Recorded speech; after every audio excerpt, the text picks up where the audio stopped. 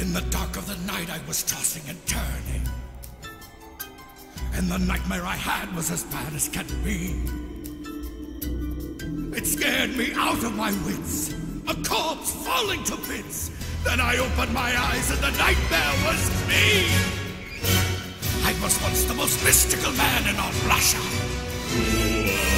When the royals betrayed me, they made a mistake. My curse made each of them pay, but one little girl got away.